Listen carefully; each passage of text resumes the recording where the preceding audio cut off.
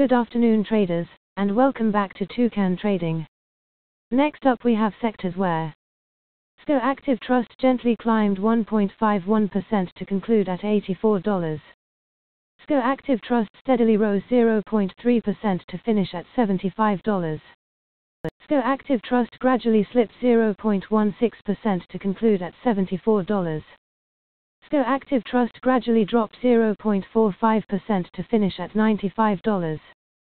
SCO Active Trust slowly decreased 0.53% to end at $158. SCO Active Trust steadily tumbled 0.7% to close at $126.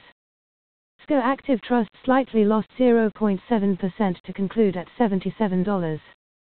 SCO Active Trust gradually decreased 0.71% to terminate at $33. SCO Active Trust lightly decreased 0.78% to conclude at $54. SCO Active Trust slightly slipped 0.86% to finish at $42. SCO Active Trust slightly dropped 1.32% to conclude at $138. Next up we have earnings where. Next up we have events where.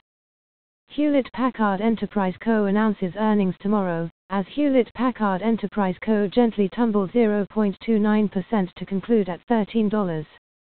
Best Buy Co. announces earnings tomorrow, as Best Buy Co. gently slipped 0.61% to settle at $73.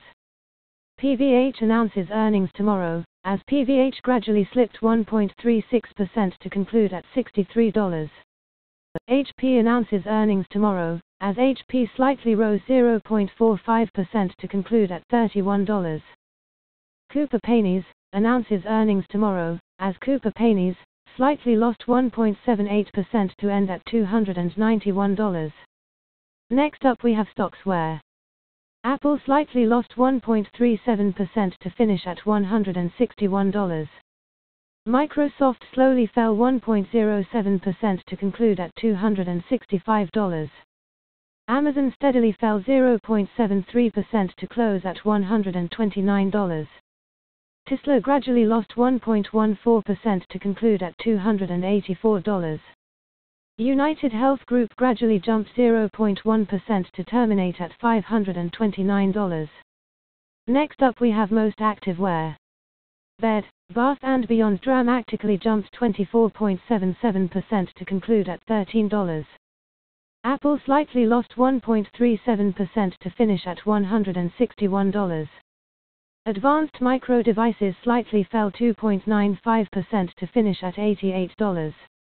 Next up we have gainers where Bed, Bath and Beyond dramatically jumped 24.77% to conclude at $13. Starbox Group Holdings Limited drastically increased 21.05% to conclude at $6.4. Next up we have losers where. Thank you for watching, and see you next time.